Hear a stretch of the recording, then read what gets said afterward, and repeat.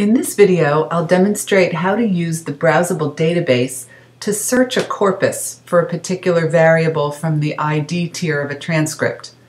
Another video shows how to use the browsable database to watch movies and follow along in the transcript. Now remember, you can go to the browsable database directly from the TalkBank website and then navigate to whichever database you're interested in, or you can get to it from the various clinical bank websites. I'll click on Aphasia Bank as an example and to point out one more useful tip. In the database section links, you'll find information about what's contained in each corpus.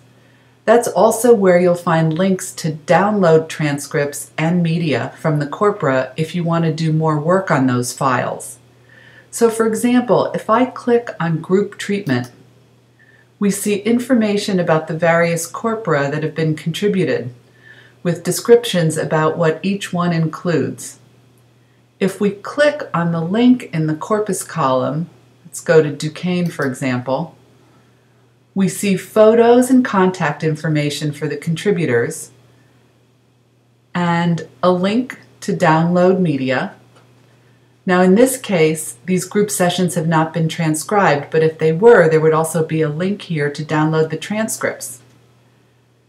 And then there's an explanation of what's in the videos, and sometimes there are other links, as you see here at the bottom, for demographic information on the participants.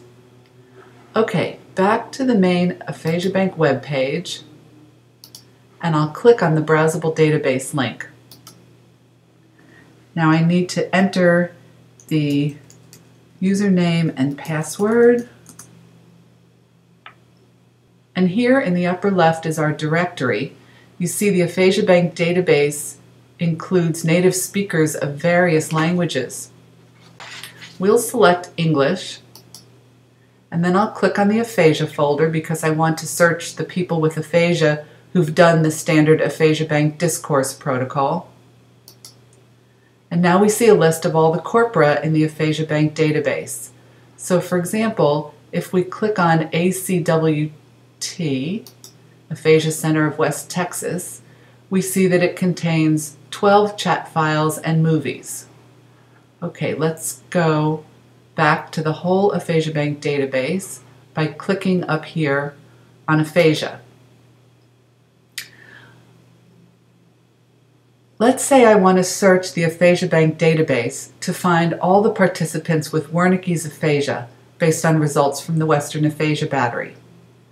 I'll go down to the bottom left corner here to the CLAN command line. In the Program drop-down menu, I'll select FREQ, which is short for frequency. And then the command goes in here but I'll do it in this text file so it's easier to see. So the parts of the command are plus t at id to include the id tier from the chat transcript where we have the WAB type information, plus t star par because we're interested in only the participant's diagnosis, plus S quote star Wernicke star end quote to search for that WAB type, star dot chat to search all of the chat files, plus U to merge all the results together, and plus RE to run the program recursively through all the subfolders listed above in the aphasia folder. Now I'll cut and paste this command into the command window. I'll make sure that my quotation marks are straight and not curly. Okay, and then I'll hit run.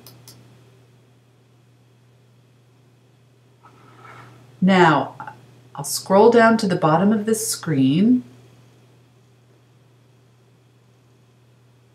and we see a compact list of which files are from participants who have the Wernicke's aphasia diagnosis on the WAB.